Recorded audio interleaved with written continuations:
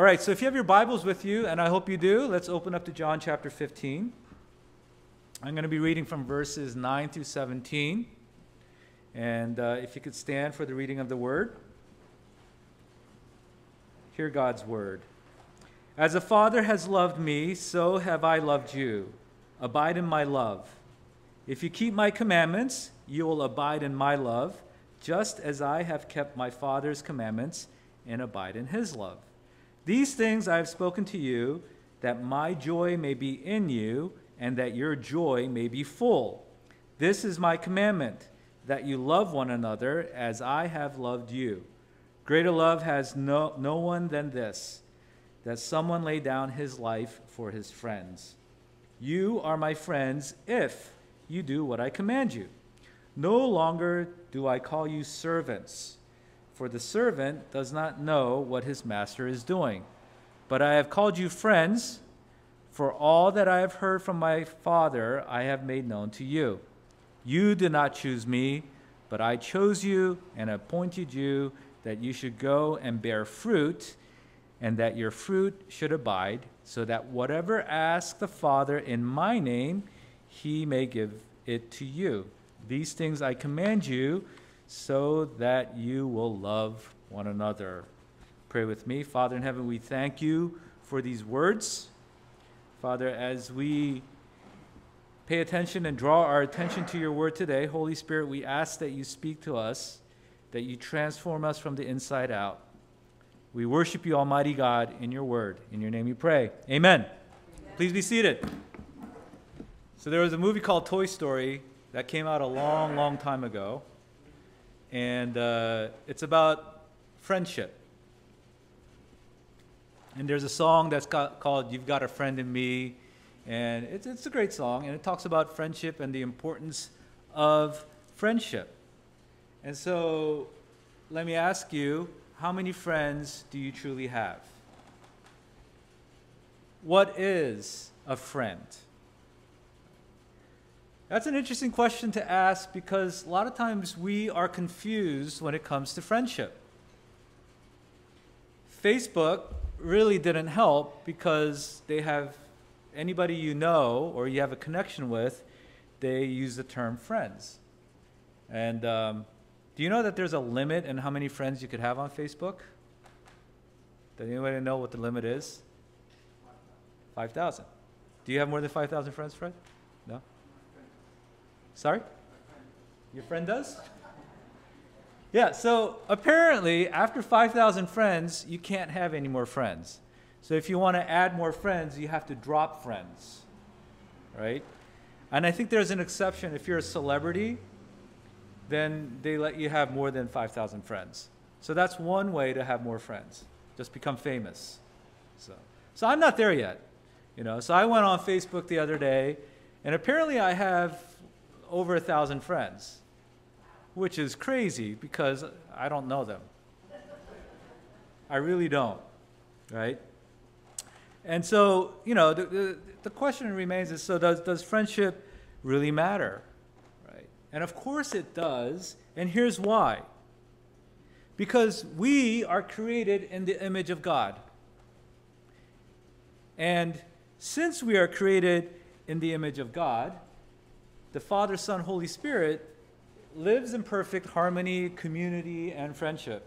So if we are created in the image of God, that means we are we need friends in our lives. That's why when Adam was made, when God created Adam, everything was good except it was not good that he was alone. Now granted, Adam was already had a relationship. He already had a relationship with God. This is before the fall.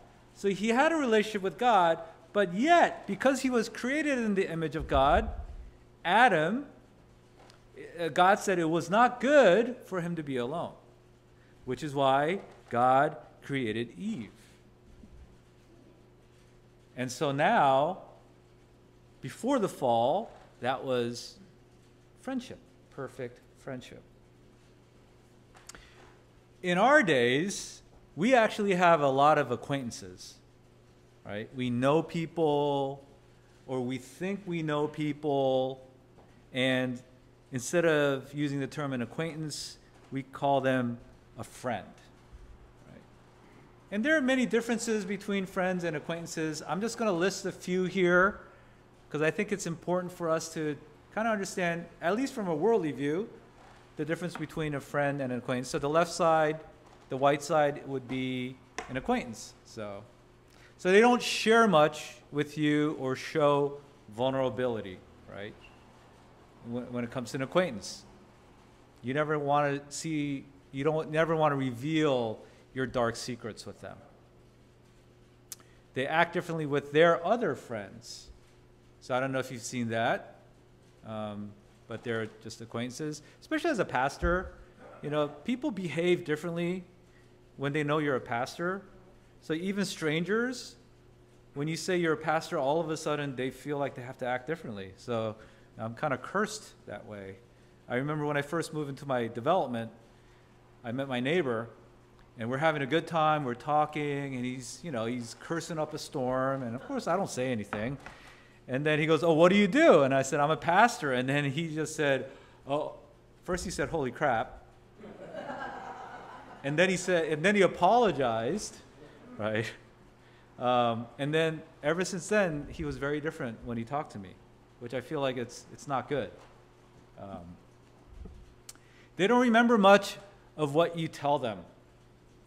Right? I don't know if you've experienced that. You know, you pour your heart out to somebody uh, you know, and then they turn around and say, so, so what are you doing tomorrow? You know, um, they're uninterested in meeting or befriending your other friends, and they don't go out of their way to lend a hand. Okay, so that's a mark of an acquaintance versus a friend, and uh, you don't turn to them when you need support. So those are kind of acquaintances, right? They may think you're a friend, if anyone falls in these categories, they're really not friends. So here's, here's uh, what true friendship may look like. You know, they make you feel good. They accept you for who you are. So you don't have to pretend to be someone else. They are honest and trustworthy. Uh, they share personal and intimate things with you, which is the opposite of what I just talked about. They apologize when they've hurt you. They care about your feelings, and they want to do stuff you both like. Okay. So if you really narrow this down, in terms of relationship, acquaintances are typically transactional, whereas true friendship is relational. And as I said earlier, since God created us in his own image, we need that relational side of things, not transactional. I do something for you, you do something for me. That doesn't work. Actually, uh, Sarah Christensen said this you know, acquaintances may keep score within the relationship, but true friendships have no strings attached. Right? And I don't know if you know people who keep score. I actually have a family member who does that, and she's pretty annoying right? So she has this bank that she keeps, you know. Oh, I've done all these things for Jay, so therefore Jay could do these things for me. And it's it's annoying, you know. And it's sad that, you know, we're family. And so even in a family relationship, it, it, it doesn't work. Right? Now here's something that's interesting, right? Uh, if you read the Bible, or if you even paid attention to what I read just now, it says that believers are friends of God. We were a friend of God. You know, there's actually a lot of songs that talk about that. You know, we, we sang a, a hymn today. There's also a contemporary song, you know, I'm a friend of God, he calls me friend. You know, there's a song like that. And so we, we, we sing about it, but I don't know if we've actually thought the significance of being a friend of God. Aristotle said that man can never be friends with a God. And why did Aristotle say that? Because he believes that you need to be like equals to be friends. Like social equals, right? That's why it's hard for someone who's wealthy to be friends with someone who's poor. Because socially, you're not equal. It, it's, it's hard for even races to, to really, different races to be good friends. I mean, I'm see, we're seeing more of that here in America, but unless you're socially equal, like even if you're good friends with uh, someone from a different race, you have something in common, like similar income level or similar jobs, or you live in a similar zip code, right? So that's what Aristotle says. So even in human relationships, we have a hard time when we're not the same. So imagine how can God be friends with someone that he's created? And that's why when you speak to people outside of Christianity, right? This is where they get tripped up. They said, There's no way. God is God. And we're nobody. So there's no way we could be friends with God. And yet, Scripture talks about this. And yet, that's what's different between what, who we believe in, our God, and other gods. Abraham was called a friend of God. Right? And just, this is just one example. But also, Moses was also called friend of God. So even in the Old Testament, there are references, you know, Abraham and Moses being friends of God. So today's text actually talks about this and the significance of this and why it matters. Okay? So, in case you got lost in the words and the sentences of Pastor Mike's preaching, right? We are in the middle of the upper room discourse. Now, my church, because I ask them every Sunday about the upper room discourse, they know what it is. So, do you guys know what the upper room discourse is? The, the Last Supper. So, what happens right after the upper room discourse? Betrayal. Betrayal, right? So, Jesus is, this is the last time he's actually having a conversation with his disciples before he dies on the cross. This is it, right? And when you know this is the last time you're going to have a conversation with somebody, you only talk about stuff that matters, right? Even like people I know when they're sick, when they think they're going to die, you know, and I get to minister to people like that a lot. They they don't want to talk about the nonsense. They just get straight to the point, you know. And sometimes it's it's too direct, but they don't want to waste any time, right? They don't need to talk about the weather, right? You need to talk about things that matter, right? And so Jesus, he knows this is it, right? And so, what is the main message that he wants to talk about? Well, the main message that he's talking to his disciples is about love. That's the main message. Right? And so, what does he say? Love, love, love, love. And in verse 9 that we read today, it says, As the Father has loved me, so have I loved you. Now, even if you don't know much about the Bible, many people know that our God is a God of love. As a matter of fact, when they want to have an argument with us, they'll say, Well, your, your God is a God of love, but I'm not feeling any love. That's why I can't believe in your God. But our God is love.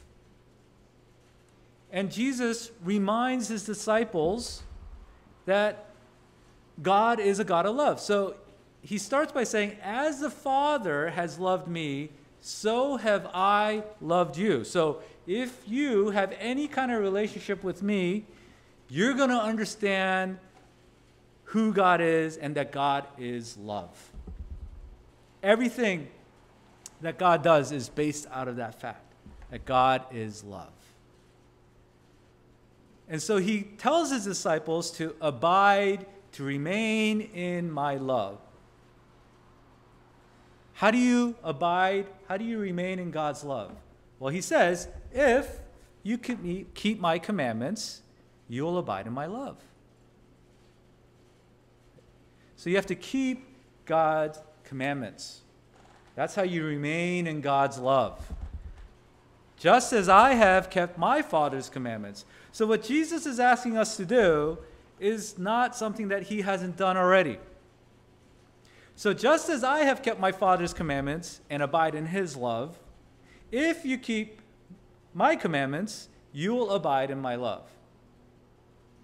Now, he's saying this because, yes, he is the only one who kept all of God's commandments. No one else has. So, because he has kept the Father's commandments, we are able to keep through our Lord Jesus Christ. And that's the good news. And that's why we need Jesus. Amen? Yeah. But what's the big deal? What's the point of abiding in God's love? Well, he says, These things I have spoken to you, that my joy may be in you, and that your joy may be full, that your joy may be complete, as the NIV would say it. So if you want to experience complete joy, you need the joy of God in you. And when we live out God's commandments, and when we remain in His love, then we experience complete joy. I know many brothers and sisters in Jesus Christ who have joy in their hearts even when their whole world is falling apart. Sometimes, and I'm saying this, you know, with complete transparency and honesty, sometimes my wife and I would say, I don't know how this person has so much joy. It's almost like they're on drugs, but they're not. I mean, we know somebody who you know, a family member dies, and then just one thing after another, like their house gets hit by lightning, you know, and they lose all these things all in a matter of week, and they're still able to praise Jesus. How? From a worldly standpoint, it makes no sense. I also know someone else was diagnosed with terminal cancer. And if anyone had the right to be upset at God, it's this person. She was in full time ministry, impacting people left and right, doing all kinds of stuff for God. And then she gets diagnosed with cancer. And her attitude was, I don't have much time left to spread the gospel. Until the day she died, that's what she did. How was she able to do this? She had the joy of the Lord in her. There is no such thing as bad news if you have the good news of Jesus Christ in your heart.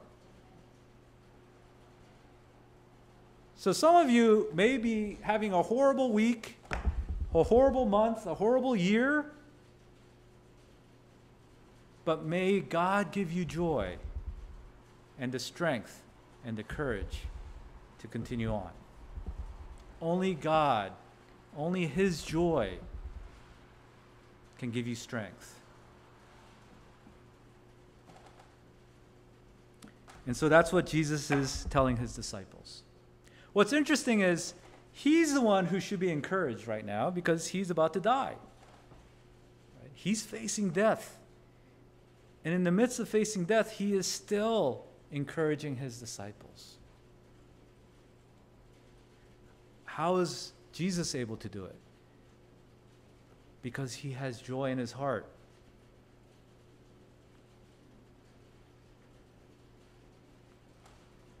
That's why how he was able to even die on the cross for the joy set before him. Scripture reminds us. So here he says to keep my commandments. What are the commandments that he's talking about? Because he said a lot of things, right? Well, in case you were wondering, he narrows it down to just one commandment. He says, This is my commandment, that you love one another as I have loved you.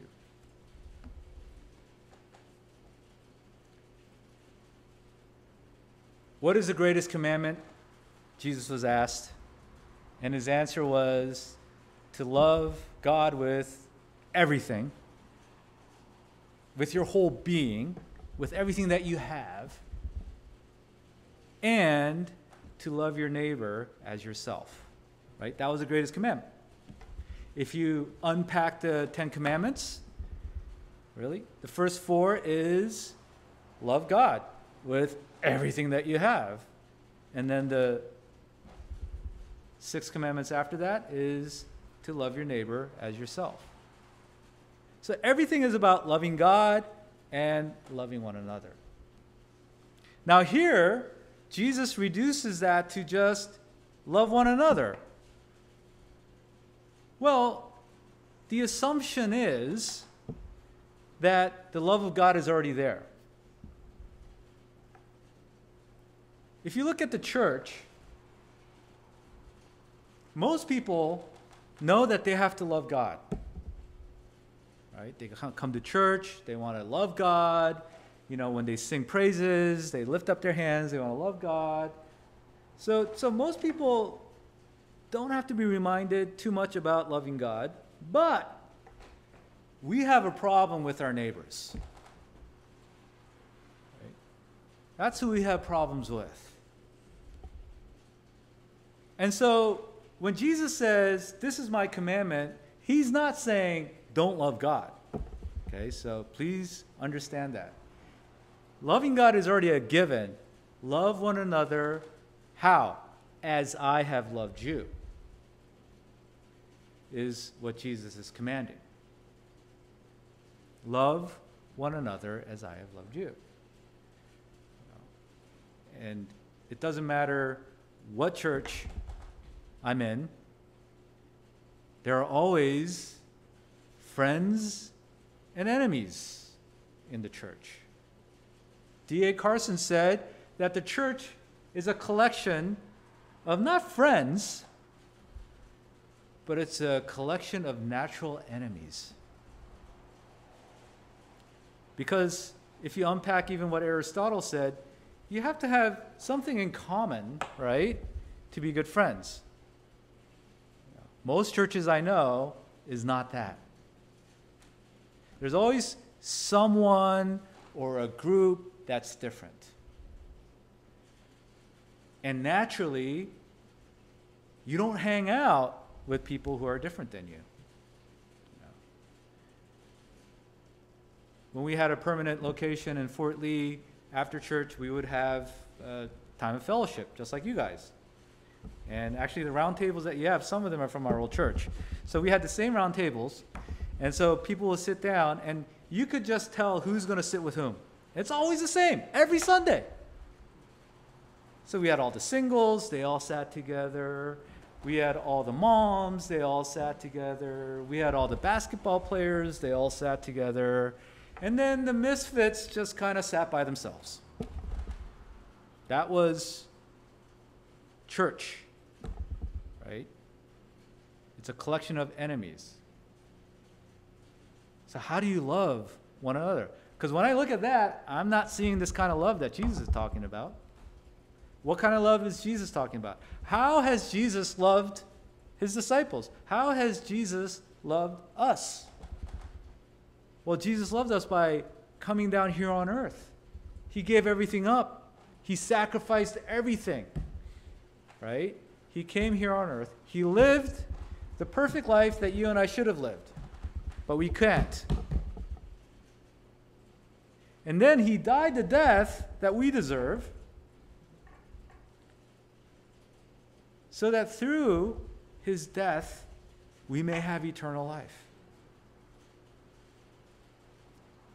That's how Jesus showed his love for us. So to love one another as I have loved you is, I'm telling you, impossible to do without Jesus Christ. You can't do it. But that's what God and that's what Jesus is commanding his disciples to do.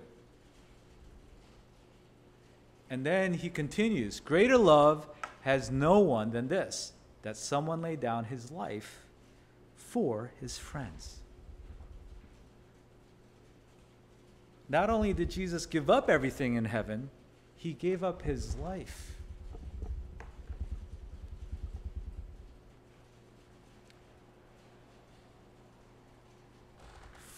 And he says, There's no greater love than this, that you would do this for your friends. Right? So there's an out. You don't have to do this for your enemies, okay? but you do this for your friends. So, one of the characteristics of true friendship is that you sacrificially give everything. You don't take, but you give.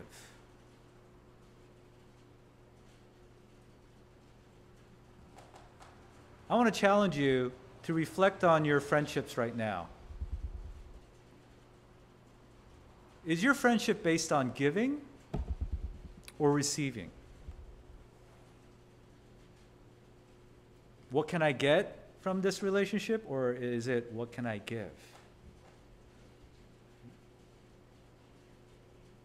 But a mark of a true friend, one of the marks, is that you give everything just as Jesus has.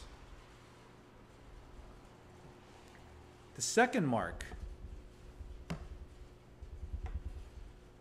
of a friendship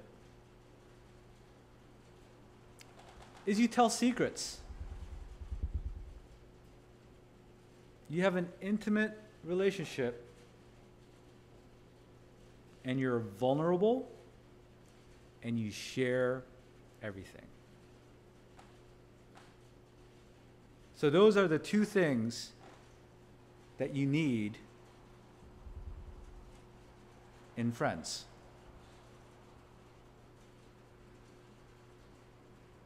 Jesus calls us his friends. Jesus calls his, his disciples his friends.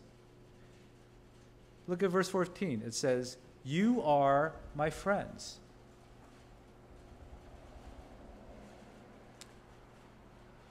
That's a shocking statement the Son of God calling people, right? You are my friends. But it looks like there's a condition attached here. It says, You are my friends if you do what I command you. So if you do everything that Jesus commands, you automatically become his friends. Wrong. That's not what this sentence means.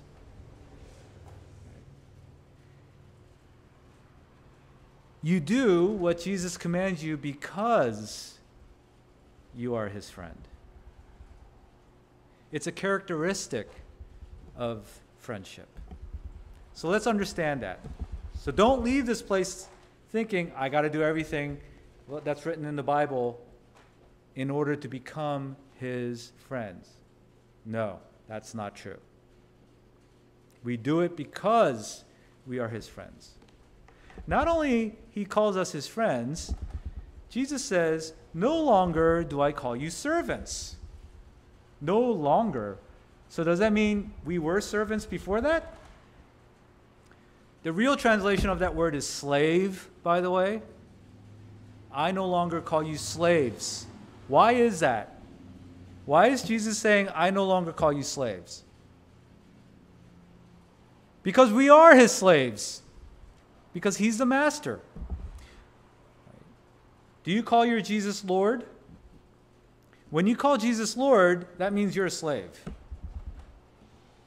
If Jesus is your Lord, and that's like the question we like to ask people, right, when we're evangelizing, is Jesus Christ your Lord and Savior? Right? That means you do everything the Lord tells you to do. But especially in America, that when we see that word slave, it just, it's so, there's so much baggage with that word slave. The translators change it to servant, or if you have your ESV Bible, there's a footnote. It may say bond servant, but the real word is slave. But it's not the slave that we think. But when you're a slave, that means eh, everything, you, you're, you give everything to your master. You do whatever the master asks you to do. And the master does not have to explain to the servants or the slaves anything he wants you to do. So if the master says, I want you to do this, we don't have to, he doesn't have to tell us why. You don't ask why, you just do. That's a job of a slave, that's a job of a servant. But you see the type of relationship Jesus wants to have with us. I'm no longer calling you slaves, but I have called you friends. That doesn't mean he's not our Lord. Sometimes we take this friendship thing too far and goes, well, Jesus is my buddy. He's not. We are a friend of Jesus. And that carries so much power, by the way. Being a friend of somebody. Back in the time of Jesus, if you were a friend of Caesar, that gave you a lot of privileges. In the same way, being a friend of God gives you a lot of privilege. We had just forgotten about that. We just think we just go out and hang out with Jesus and have a good time. That's not the kind of friendship Jesus is talking about here. He's talking about a relationship where you give everything, you sacrifice everything, and a relationship where you are vulnerable and you share everything. Jesus continues You're my friends for all that I have heard from my Father, I have made known to you. There are no secrets. Jesus had made known to his friends. So Jesus is modeling, Jesus is demonstrating what true friendship looks like. He gave everything, and he has no secrets. That's the kind of relationship that God has with us. And that's why we are friends of Jesus Christ. Earlier, I said that being friend of Jesus, the characteristics of that would be that we would obey his commands. We would do everything he commands us to do. And I said and the opposite doesn't work. If you do everything that He commands us to do, it doesn't make us automatically friends. So, how does one become friends with God? How do you become friends with Jesus? Well, I'm glad you asked. He says, You did not choose me, but I chose you. Okay. You did not choose me, but I chose you. There it is in black and white. It's very clear, right? There's some people who have who has an allergic reaction to the terms predestination or election. So I won't use those words. I'll just say this according to Jesus, you did not choose him, he chose you. And appointed you, and set you apart that you should go and bear fruit, and that your fruit should abide. What fruit is Jesus talking about here? Fruit of the Spirit. What are the fruit of the Spirit? Spirit is, do you guys know that? Everybody knows it, right? Starts with love, It's always, whenever I ask the church to say it, it always starts strong. Love, joy, peace, patience, kindness, mm, and self control. Right? The fruit of the Spirit. Well, you could say, well, I learned it in the King James, the NIV. They're all a little different. But the fruit of the Spirit is what we are called to bear. And how do you bear fruit? You have to be attached, you have to be attached to the vine because we're just branches, right? How do you attach to the vine? You abide in his love. Okay? So when you abide in his love, which means you obey his commandments, which means you are a friend of Jesus, which means he chose you, you didn't choose him. If that's the life you're living, then you're going to bear fruit. It's just, it's automatic. You're going to bear fruit. You can't on your own bear fruit. You could try, you could fool people, but eventually, people will see that your fruit is not from God. Like an apple tree cannot bear pears. And sometimes we get away with pretending. I know people who have pretended for over two decades, but eventually it comes out if you're not connected to the vine. So don't try, just be. And that's the context of this verse where he says, So that whatever you ask the Father in my name, he may give it to you. This is not, in the name of Jesus, I demand a million dollars. People take verses like, like this out of context all the time. I can do all things through him who gives me strength. Really? You know? You know where you see that a lot? You see that, that verse a lot in gyms, right? I can do all things as you're pumping iron. That's not the context of that verse. Paul was in prison when he said this. And he was talking about being content in whatever is thrown at him. So here, whatever you ask the Father in my name is in the, is in the context of bearing fruit, is in the context of being connected to the vine, remaining in Him. Because the world we live in is trying to pull us away is trying to teach us a false gospel. Whatever you ask in the Father's Father in his name, he will give it to you. May our prayers be that we remain in him and that we would bear much fruit in the name of Jesus Christ. Because he has chosen us even if we're not the best of friends, He will not abandon us. Have you had friends, friends, who would always say, I'm there for you, but when, when the rubber meets the road, they're not there? Right? So, according to the definition that I gave you, those are all acquaintances, right? They're not there for you. A good friend would be there no matter what. A good friend would be there even if you're going to die. A good friend, according to what we looked at, would actually give up their life for you. So let's see what kind of friends we are to Jesus Christ. Let's see what kind of friends the disciples were to Jesus.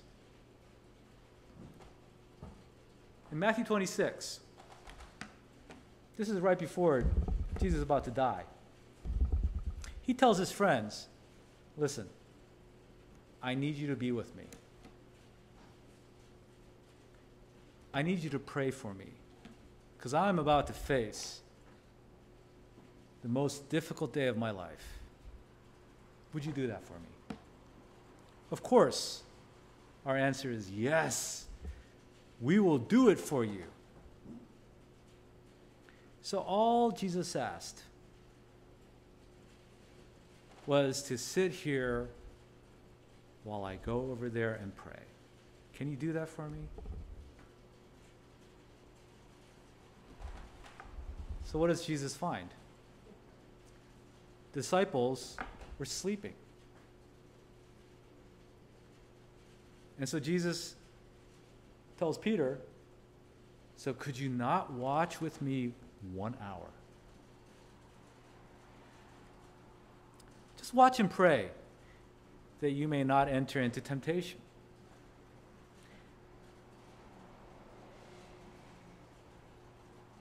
So, you know, our God is a God of second chances. You probably heard that many times. So then he goes away again.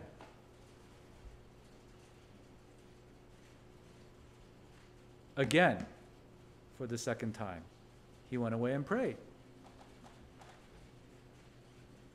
And his prayer is, My Father, if this cannot pass unless I drink it, your will be done. You know, he's he's about to face the cross. He's pouring out his heart to God the Father. And he just needed some friends to be there with him. And again, he found them sleeping.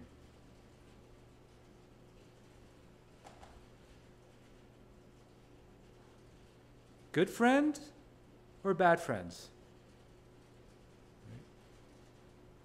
The only good friend we have is Jesus Christ. And none of us, none of us are good friends to him. But through him, through Jesus Christ, we're able to be good friends. So, for us to be good friends with one another, it starts with our friendship with God. So, let me ask you is Jesus your friend or foe? And just as a reminder, James says, Do you not know that friendship with the world is enmity with God? So you cannot be friends with the world and with God at the same time. It's one or the other. For years and decades and centuries, people were trying to figure out how do we become friends with God and the world? We want to live in the best of both worlds. There was a time when churches were trying to be relevant And what were they doing? They were trying to send out a message saying, you could be friends with the world and with God. And they started watering down what we do in church. There's nothing wrong with getting rid of, well, there is a lot of stuff that we are doing that's wrong, but they were trying to say there's nothing wrong with Let's remove the cross. Let's talk about the gospel, but in a roundabout way.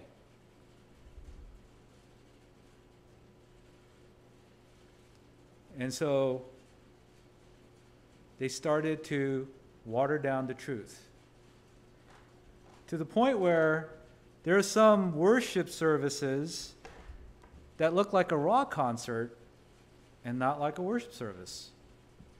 And when people leave the church, they feel like they had a great connection with God when the music was awesome. You cannot be friends with the world and with God at the same time.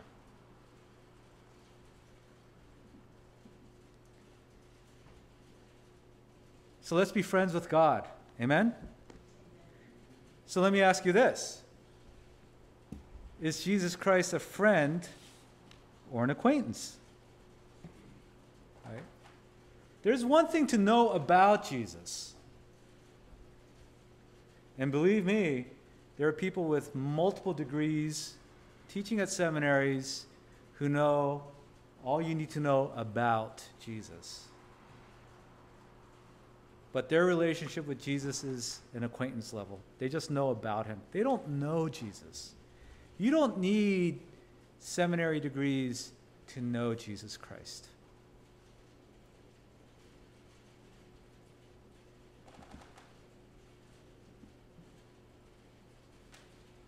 And if you know Jesus Christ, then the way you live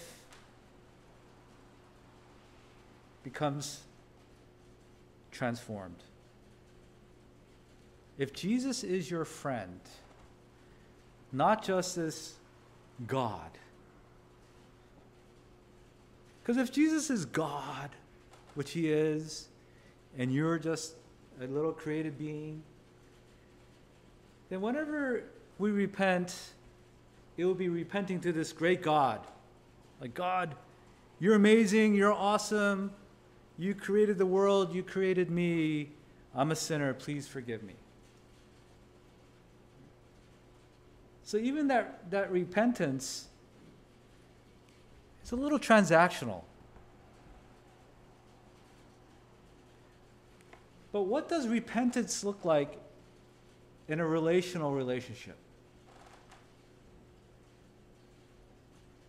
When was the last time you had to ask for forgiveness from somebody you really know? If you're asking for forgiveness for somebody you don't know, yeah, you may feel bad. But once it's done, you're good, right? But if you had to ask forgiveness for somebody you really care about,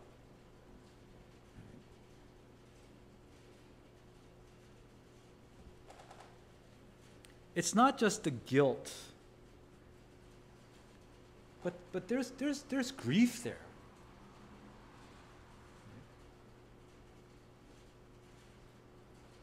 And so when we repent, it should be like we're repenting and we're asking for forgiveness from somebody who's really close to you. It's not just a transactional, I'm a sinner, please forgive me. But you really feel the anguish and you see how you hurt the person. So even your repentance becomes richer. So when Jesus says we are his friend, that's what he's talking about. And that's what I want all of us here to know and understand. I want all of us to have this type of relationship with our Lord Jesus Christ. Yes, He is Lord. Yes, we are servants. But yes, we are friends. David talks about the difference between friends and someone who you don't care about? Psalm 55. If it's the enemy who taunts me, I get it. I can bear that. But if, if it's a friend, a companion, my equal, boy, does that hurt.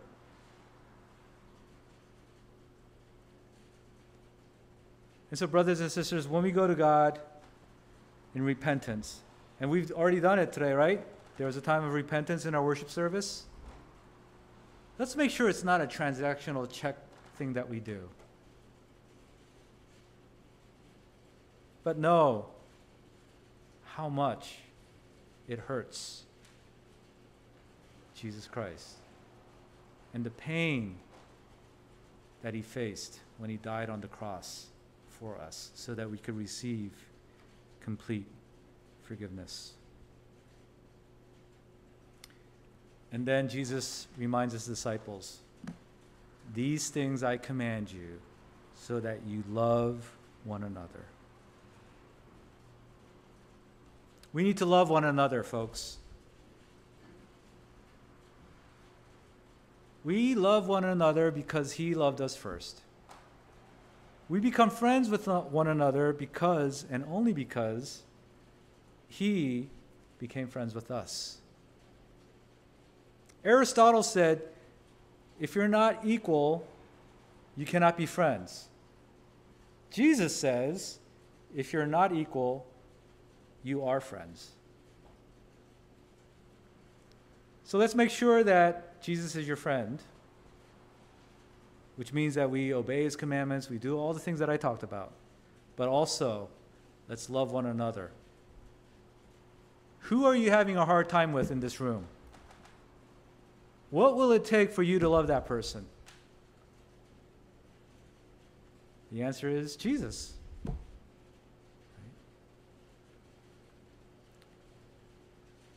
And you know, I, I, you know, I don't, I don't really attend this church, but I know in any kind of organization like this, there are people who have issues with one another.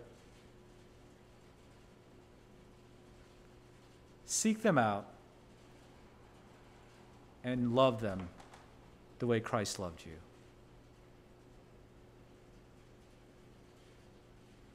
Be transparent with them. There are no secrets, right? You give everything and there are no secrets. That's the secret to friendship, right?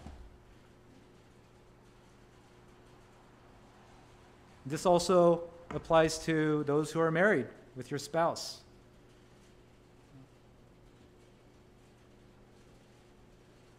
I know people who've been married for almost 20 years and they still don't know each other.